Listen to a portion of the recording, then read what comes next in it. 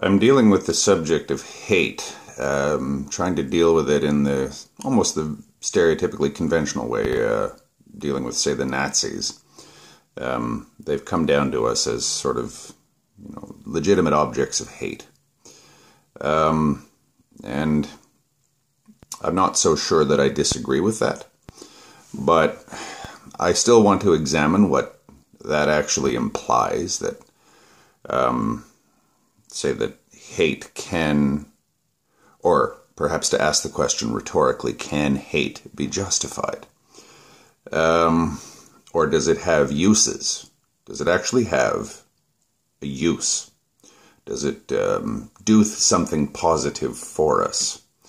I mentioned that it it can sort of, I guess, inoculate us against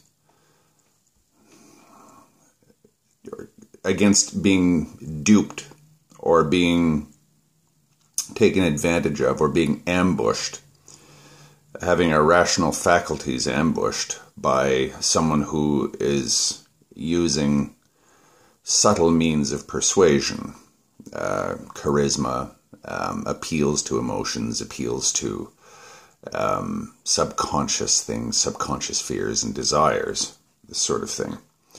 And very cleverly mixing it in with other things to sort of, as Goebbels would have put it, make the most atrocious lie quite palatable.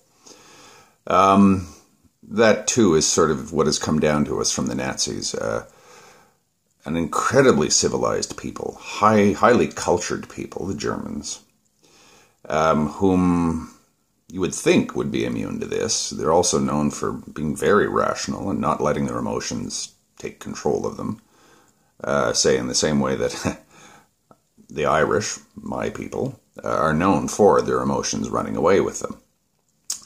Um, but still, the supremely rational, supremely disciplined Germans fell for this idea.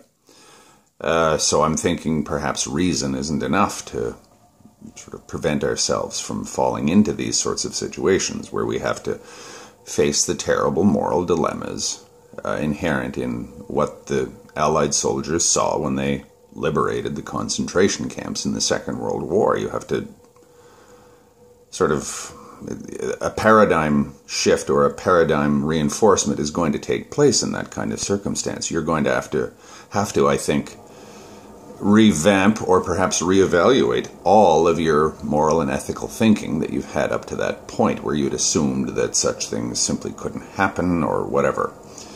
Um, you might have thought that ideas of evil were kind of silly and outdated and juvenile until you, you know, you enter Bergen-Belsen with the British and Canadians in 1945 and see 13,000 unburied bodies laying there in front of you that died completely unnecessarily and sadistically. Um, you know, you see that, then you have to you have to make uh, some sort of assessment of it.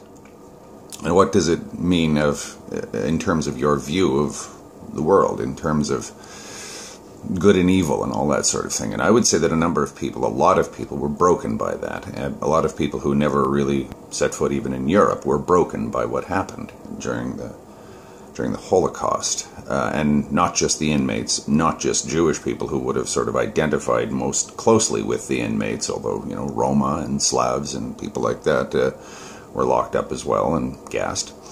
Um, not just them, but people who up until then had sort of thought, well, I don't live in a world in which those things happen. Human beings simply don't do things like that. So there's really no need for me to prepare myself for that possibility. And I think that's the horror of you know, things like the Third Reich it was a gigantic ambush on just about everybody. Um, the Germans were ambushed. I don't think that they grasped what they what kind of a deal they'd signed with Hitler in the mid 1930s, till it was too late for anyone to do anything about it, or events were moving so rapidly and in such a complex way with so many different ways to look at it that the individual was more or less, if you ask me, in a state of confusion as to what the devil to do about it all, especially after the war had broken out. What, what are you going to do as a German? Um, it's confusing. It, it, Hitler duped everybody. He duped the Westerners who thought they could use him against the Soviet Union. He duped the Soviet Union uh, when he th- uh, duped Stalin when Stalin thought that Hitler was his friend. He duped everybody. He duped himself, thinking that he could actually do it. He couldn't. He didn't have the resources. Never did. Um, but what is that? What what is that that duped everybody? What what was the thing that was dangled in front of everyone's eyes? Um, what was that entire phenomenon of that thing, the Third Reich, and all that it entailed, the World War, and uh, one could even say the Cold War that followed it. What what what was all of that? And what do we do about situations like that that could resurface? Um, I think that we've kind of evolved, in the modern sense, a hate response in that way. Um, where if we get a whiff of this sort of thing, if we get a whiff of, I won't say race prejudice because that's still pretty rampant in our civilization, but I would say if we get a whiff of someone attempting to seduce you with an idea, with an ism, with uh, some kind of believe in me and I will solve all of your problems, we automatically get the hate out kind of defensively. Uh, we automatically say, "You have something to prove, Mister or Madam Savior, to us first. You have you have to prove that you are completely and utterly benign before we'll follow you." and we'll hold you up to such scrutiny that um, you know you, and, and keep you on such a short leash in the form of say liberal democracy that you can't really do any damage no matter what you want to do. And even that is kind of hate based um, there's an amount of we've seen what leadership can do. We, we've seen what charismatic leadership can do. And we've seen what happens when people unknowingly abandon their faculty of reason or unknowingly have their faculty of reason overwhelmed by the subconscious or the irrational part of us. Um, I'm often saying that logic is our tool, it's not our master. But we also use it, I think, in certain senses as a master to keep ourselves, I guess, in terms of self discipline, to keep oneself on the, as it were, straight and narrow. Um, you keep yourself thinking logically and reasonably because if, say, you were, and as I mentioned in that in a previous video, sitting in a Vienna coffee shop in 1920 with Hitler, and you were talking to him and he started to sort of get through your defenses, you'd probably get angry or hateful inside. Um, I probably would. I'm not trying to say that I'm aloof from any of that kind of thing, but why would I get angry or hateful? Because I would recognize that in me that is actually vulnerable to the blandishments of a charismatic and possibly evil leader. I won't say that, you know, I shouldn't say, I mean evil like evil type thing. Um, the ultimate con man type thing. And that keeps me the hate, if you ask me, keeps me aware of the fact that I live in a world where this can happen. Um, it's a defensive thing. It's a, a means of bolstering my defenses against um, the Hitlers of this world. Uh, and the people, I guess, whom I believe might fall for the Hitlers of this world. Um, I mentioned Emmanuel Goldstein, and, and one of my favorite lines from 1984 is from that Two Minutes Hate, where Winston is looking at the screen and he's seeing Emmanuel Goldstein, the ultimate scapegoat, denouncing the party and denouncing Big Brother and denouncing everybody. And uh, the fascinating line from that was Winston was listening to Emmanuel Goldstein, and you couldn't help but think a child could see through what this idiot is saying but it's just clever enough that people who are less intelligent than I am are likely to fall for it. Now, human nature being what it was, I think most of us believe that we're more intelligent than than other people. I think that we've argued that one to death. Uh, so what that means is you think that everyone else is going to fall for this guy. You know, you're the only one who can see it coming. I think we all know that feeling. And that can lead to hate, and perhaps hate of a misanthropic kind a hate of everybody, a hate of the human species. um, a hate uh, that can often be a case of uh, a blanket hatred of human imperfection and human susceptibility to being corrupted. Um, that's kind of the way that the elves in the Lord of the Rings saw human beings. That they're okay in many ways, but they're easily seduced by things like power and wealth and things like that. Um, especially power. Uh, and that's almost kind of like have you ever heard of one of these insular communities um, where um, they're so insular that they sort of believe that there's us and then there's everybody else. We are the chosen people, and everybody else on the planet are the, I don't know, the equivalent of the Gentiles or the equivalent of the Gajos or something like this. Um, where the human race is so weak and easily corrupted that they're almost certainly going to fall in for or fall for people like Hitler or Emmanuel Goldstein or whatever. So we end up actually reflexively or defensively hating the entire human race because of that. Um, but only hating the human race in a certain way, in some kind of abstract way.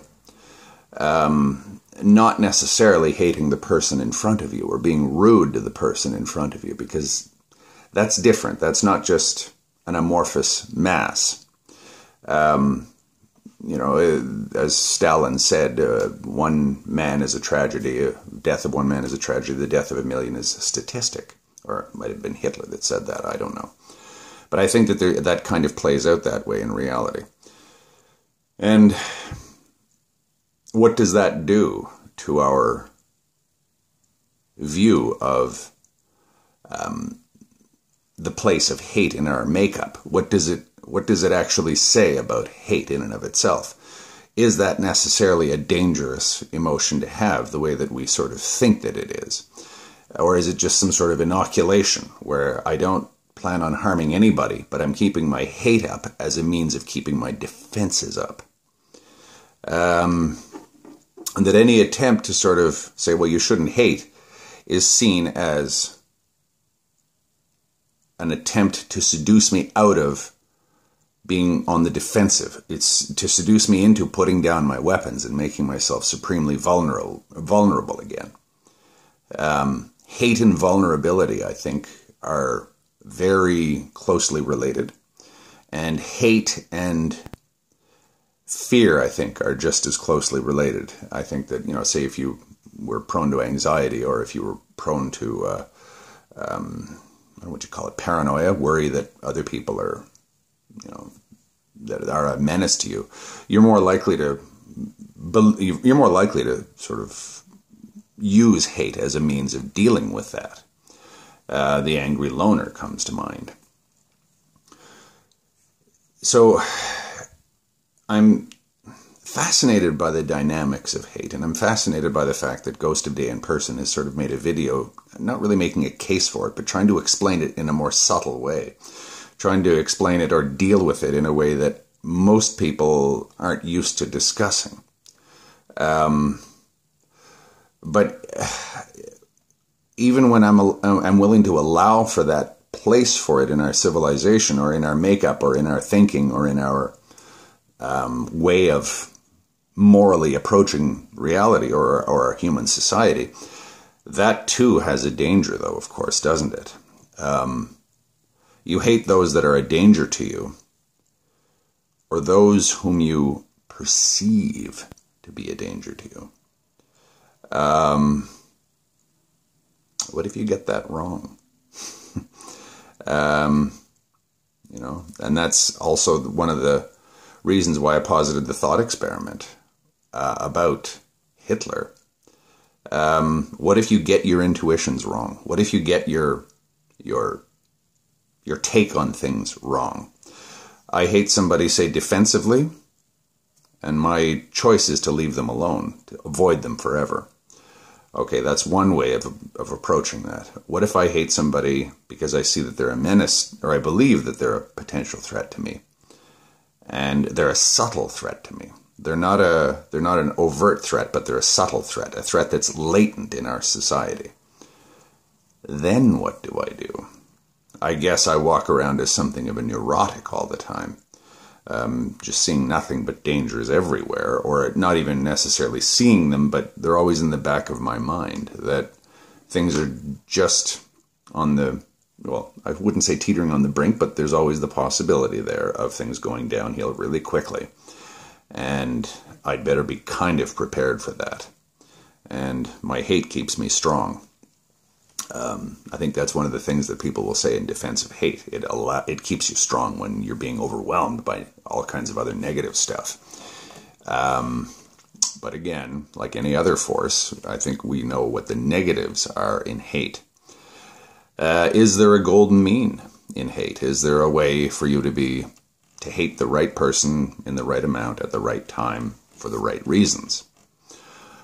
I suppose uh, for the right reasons, I'm not sure about that. I'd, I'd question whether or not we have enough information to truly hate anybody, uh, you know, to identify somebody as deserving of our hate.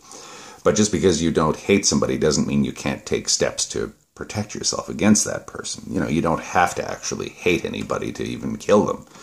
Um, you don't have to hate to go off and fight a war against the Nazis.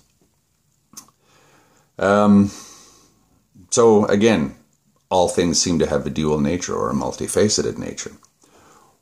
That one would have to conclude that the same goes for hate. But how do we manage hate? How do we manage it to keep it from getting out of hand? I see a menace in our world right now, hatred that's building between the West and the Islamic world, and to a lesser extent between the West and Russia. Um, how do we manage that? How do we manage the fact that we do seem to be, in some sense, in some slow tortoise like sense, walking towards some sort of collision course with each other, either with the Russians or with the Islamic world, uh, or this sort of thing, just this other type people that we have identified as something of a, an existential threat to us. How do we keep up, perhaps, how do we manage the hate that's always going to accompany these sorts of dynamics? Um, say, like the Cold War, where you're always on kind of a semi war footing, but you don't really want to fight each other at all. Uh, you just want to protect yourself against the other person um, or the other side. I think that we've all, all three of the groups that I've mentioned here, the West, the Islamic world, and Russia, have kind of taken that kind of a dynamic. They've taken a wait and see type thing. We'll stay strong, but we won't make any false moves here to to provoke the other side. So is it a balance? This idea of hate, and you know they called it the balance of terror back in the Cold War. Um, is it a balance, or is it um, is it a juggling act or something like this? I don't think we're ever going to abolish hate. Um, but I think that it can be damaging to our society and our civilization and to ourselves as individuals if we don't manage it correctly.